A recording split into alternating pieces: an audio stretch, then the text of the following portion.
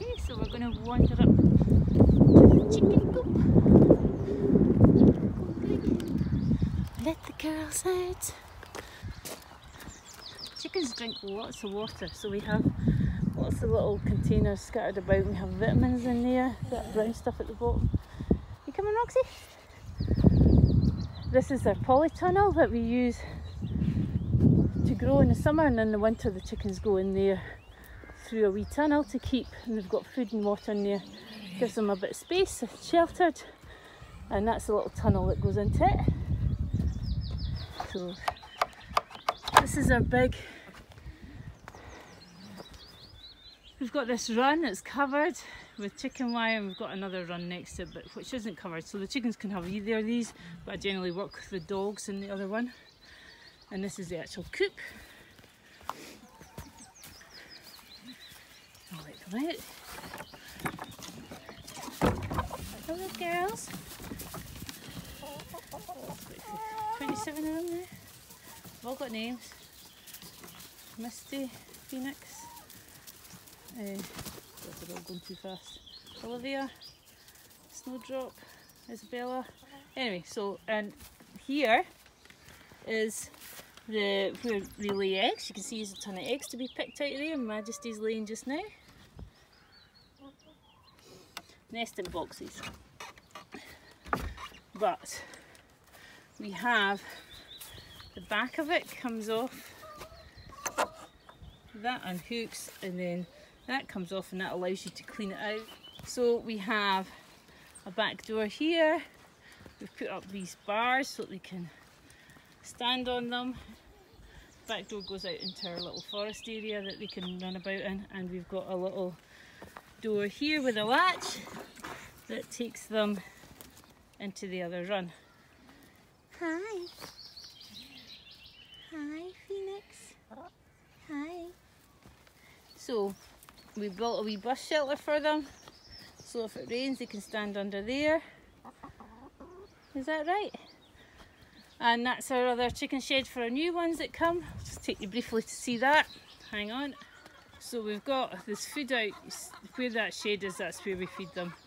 And they're on just chicken grains and layers pellets and there's vitamins powder that you can buy If you want to know more about that, I can tell you. So they just come down themselves. And then there's girls in the forest there, as I call it. So in here is our little garden that we grow things in. So we've got the orchards, got wee trees grown up, and this shed here is the hen shed. And a lot of them come in here when they first come but then they prefer to sleep in the other one. They put themselves to bed when it starts to get light. At first they don't know so you have to help them. And this is what the inside of this, so this little bits and pieces for them to perch on. And we've got the cat gymnasium for them in there. There we go. There's Flame. Hi darling. With a wee nose. And more water. So they've got a pretty good setup here. Right, I think the proper free range in, because we're lucky enough we've got a lot of land. They will make your land a bit uh, muddy. Um, so just be prepared for that. You can shift things around and if you do any gardening they just kick kick all the earth. So we're, we're brushing that every day.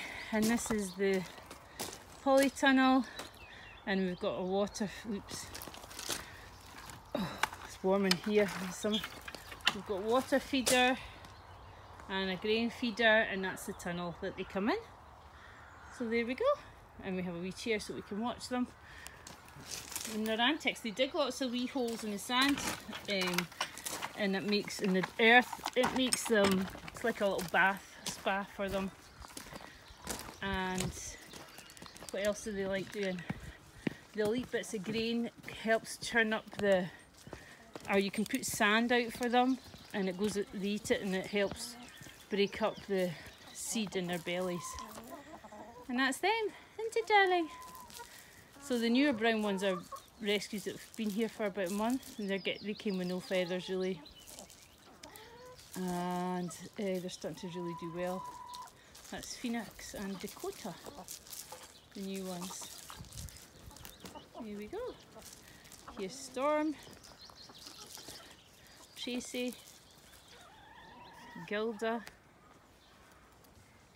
Jemima, and they all get on with the dogs. I train the dogs to leave the chickens alone. And there's absolutely no doubt there's no any kind of aggression or the ability for the dogs to think that it's okay to chase chickens. It just doesn't happen. Chickens have priority. So they're and of course I have chickens in the house as well if they're poorly.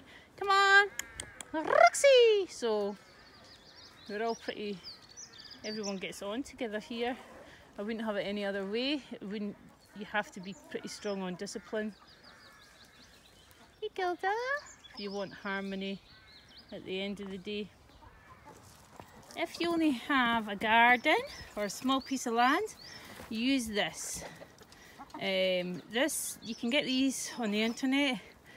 They're about £90 and it's a little run and they can go underneath it and you move it about so they don't you know, we like them to be a little bit freer. Hey there, Gemma's de demonstrating. And then there's a wee bit here. They can lay eggs, so you can have a couple of chickens in your garden. And they're quite happy in that little run. It's just that we're, you know, if I lived in another house with a smaller garden, that would be ideal. Hey girls. Right, come on then, Gemma. Come on. Gemma, come on. Chickens can learn a few words. Come on. 22 words, I think. She's ignoring me.